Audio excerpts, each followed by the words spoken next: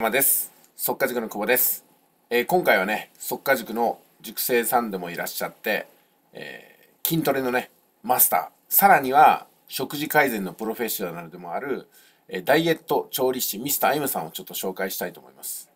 どうですか？この2枚の画像を比較してみて。これ同じ人ですよ。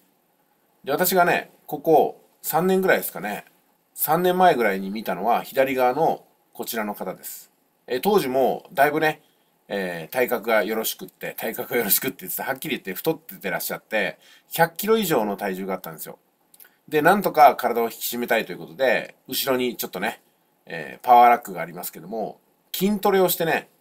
体を絞っていけるんじゃないかなってことで1年間私も一緒にガチンコマッチョクラブということで筋肉を鍛えていく、まあ、そんなねコンテンツをお送りしました。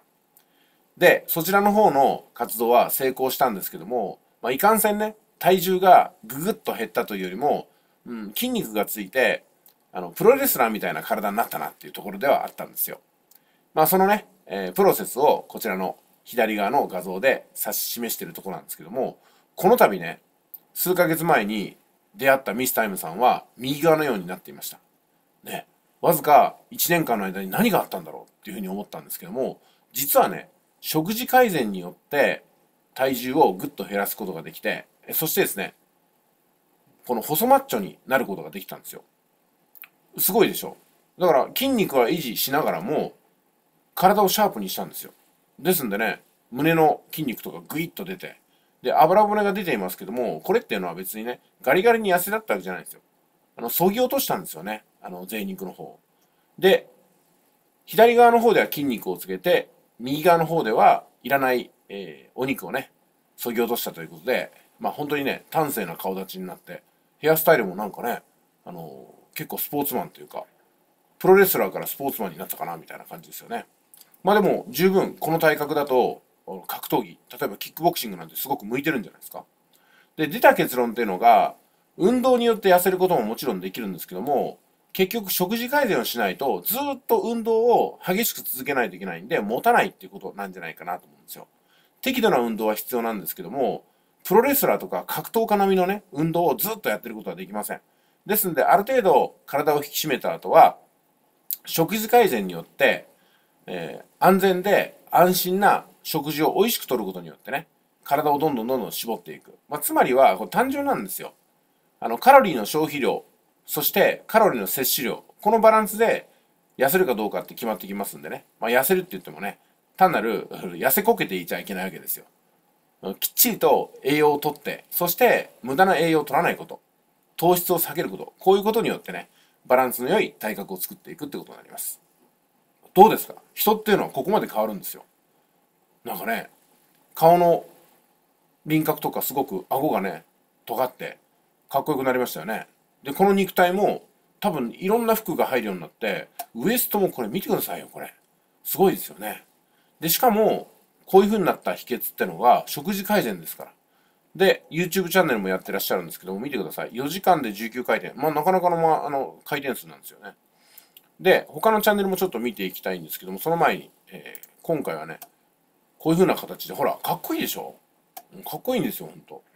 で調理器具と調理器具シンプルでこれ鍋1個ですからね。それから食材がこういう風に綺麗に並べられてますよね。どうやったら痩せるメニューを作れるのかってこと。どんなものを食べればいいのかっていうことですね。しかも美味しく食べないと食事が苦痛だったらねほんと意味がないですからね、うん、ほら美味しそうでしょ。今の時期にあったかい鍋。トマト鍋ですよ。トマトこれだけ入れてね。で美味しく食べると。調味料のお菓子なのも使ってませんからね。はい。でこうやって食べます。これだけ全部一人で食べるのかな。すごいな。まあそんなことはないと思いますけどもね。はい。いただきます。ということで。すごいですね、はい。でダイエットの無料相談もやってますんで頼もしい味方が皆さんのとこにもいるんじゃないかなっていうところで今回ミスタイムさんがねあなたの健康にアタックしてくれますんで。で他の動画ちょっと見てみましょうか。はい、えーこういうようなねおせち料理もねダイエットレシピで作るというね、25キロの減量成功。ダイエットは食事が9割。そうなんですよ。運動にかけて運動だけでね痩せることはなかなか難しいですから。運動はあくまでもね筋力アップとか体を引き締めることに使うんですけどもでもメインは食事を改善しないとダメですよと。いくら運動してもねバカバカ食べてたらやっぱりお相撲さんみたいな人っているでしょ、うん、お相撲さんっていうのは運動もするけどもそれ以上にちゃんこめちゃくちゃ食うんですよ。吐くほど食うんですよね。だからあの体ができるんですよ。あれを見るとあのやっぱり食べる何カロリー摂取量以上に運動することってむちゃくちゃ大変なんでね、えー、だったら、まあ、食べる量はそこそこに運動もあのそこそこにして無理なく継続できるダイエットをした方がいいんじゃないかなというところで食事改善は必須だと言えます。マイナス25キロのダイエットレシピ。ほら、ものすごいメニューでしょ、これ。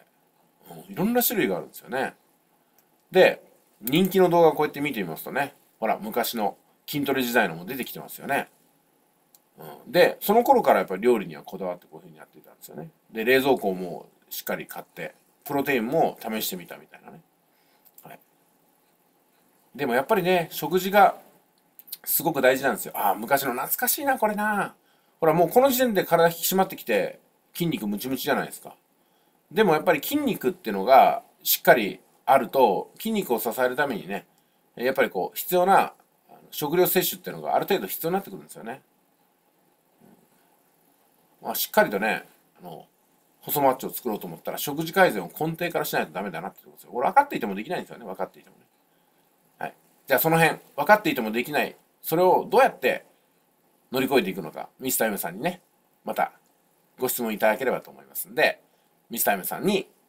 ご連絡よろしくお願いしますそれでは今日は以上ですミスター M さんありがとうございました